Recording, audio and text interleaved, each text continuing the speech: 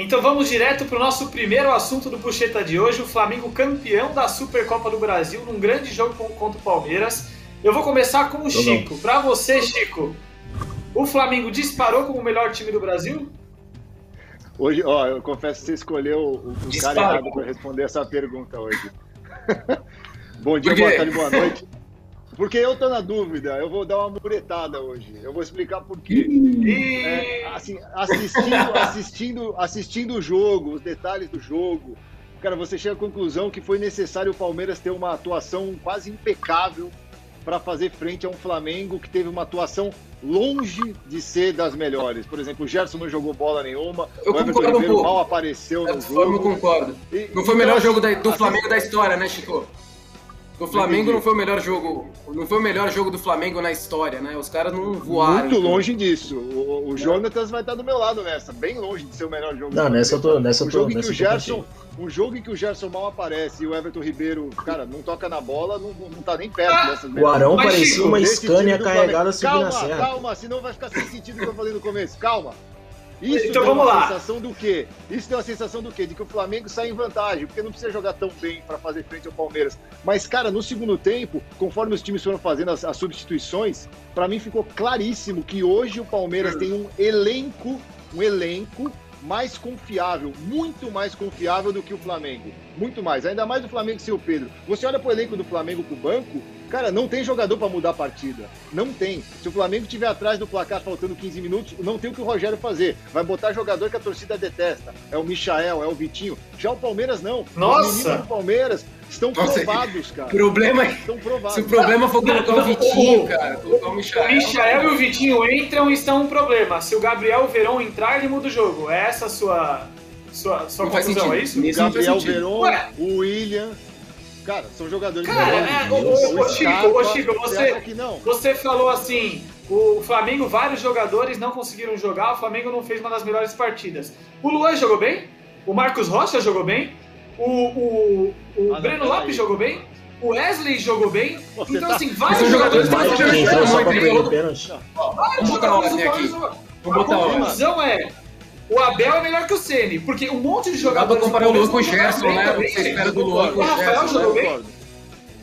Ué, é essa que é a conclusão. Porque o Gerson não jogou bem, o Zé Rafael também não. O Luan jogou mal, o Marcos Rocha marcando o Rascaeta, pelo amor de Deus. O Wesley não acertou nenhum drible, o Beno Lopes não encostou na bola. E vocês então, escolheram o, o Zé Rafael antes do Diego no nosso bem, último cara. programa, né? Eu escolhi é, e aí a gente programa, vê... Você escolheu o Zé Rafael. Parabéns. O Palmeiras não tem um jogador com a capacidade de fazer um jogo como o Felipe Luiz fez ontem. Que é um nível muito acima. O Flamengo que tem isso? O Vina não consegue melhores. fazer um jogo bom, pô? Que isso? Aquele nível. Não, ele é ótimo jogador. Não tem comparação é. com o Felipe Luiz. O nível de entendimento de jogo de 3, 24 anos. Gente, eu não tô falando dos titulares. Eu não falei dos titulares, eu tô falando que assim, num jogo desse, pô, ainda mais mata-mata. Beleza, Campeonato Brasileiro, acho que quando o Flamengo e Palmeiras se enfrentarem é um outro cenário. Agora, mata-mata. O, o, o, Abel Ferreira, você acabou de falar, você acha o Abel Ferreira melhor que o Rogério? Eu também acho. Mais pronto, né, do que o Rogério. Ele tem opções Sim. no banco para mudar um jogo. Eu acho que esse Flamengo não tem, cara. É o Pedro. Desculpa, vai botar Meu o Rodrigo Deus, Muniz tá pra, pra, é o, seguinte, jogo. Não, é o eu, eu, acho, eu, acho que, eu acho que o Palmeiras saiu mais próximo. O Flamengo não disparou, respondendo a pergunta, porque senão a gente se perde também. Eu acho que no fim das contas ali, no fringir dos ovos, o Palmeiras saiu mais perto do Flamengo do que se imaginava. Pô, tava todo mundo metendo pau no Palmeiras semana passada. Ó, oh, vai tomar de 5 do Flamengo. A gente não meteu assim. pau no Palmeiras. Tá o Palmeiras jogou mais do que as pessoas imaginavam. Ó, ó, eu vou falar o seguinte. Vou falar o seguinte. Chega, chega, Chico. Chega, Chico. Vamos ter que botar o Chico de novo. Chega, pô. O programa não é eterno, não, pô. Seguinte, eu acho Fala, que o Flamengo disparou por um simples motivo. O Flamengo agora consegue reagir de forma consistente, assim como reagiu na temporada passada na reta final do Brasileiro, assim como reagiu nesse jogo do Palmeiras, porque começou perdendo, virou o jogo nos pênaltis, tinha tudo para perder e aí o, o, o, Diego Alves mostrou um pouco da força mental que o time tem.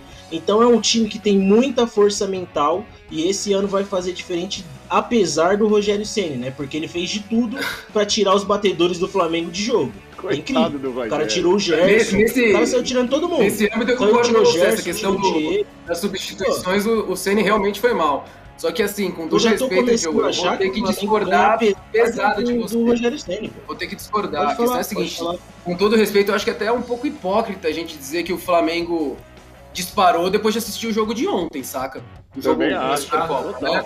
Eu acho que é muito complicado a gente falar disparou. Mas, ó, Pô, realmente, é foi um baita jogo que, assim, pra muitos poderiam dizer que até não valeria nada e acabou valendo muito, né? A gente viu briga, é, jogador chorando, rezando para ganhar os pênaltis. É uma parada que a gente não esperava ver numa Supercopa do Brasil. E isso aí, inclusive, vai interferir um pouco no nosso quadro puxeta aí mais tarde, né? Que é a questão do clássico, etc. Mas dizer que o Flamengo disparou apenas por ter vencido nos pênaltis, como você disse, na Bacia das Almas, com o Diego Alves fazendo o um milagre que ele normalmente já faz nos pênaltis, né?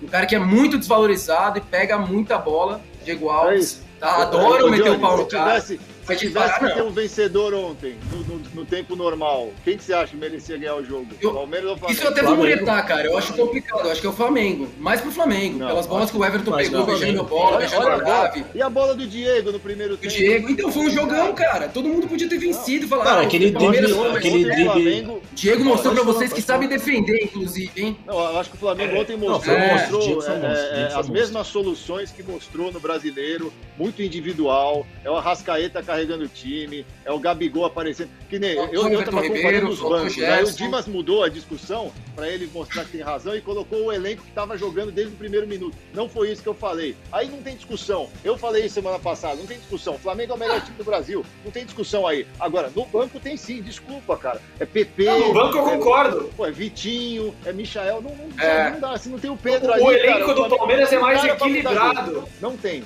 É mais Muito equilibrado mais. o elenco do Palmeiras, mas porque o Palmeiras tem uma base, os jogadores de base que subiram e já têm mais experiência e já estão consolidados. Sim. O Flamengo não. Michael, Vitinho, agora tem o Bruno Viana, daqui a pouco volta o Thiago Maia. Não é tão simples assim de que o, o Flamengo não tem gente no banco que, que resolve. O Mateuzinho crescendo, tem, mas, lateral esquerdo.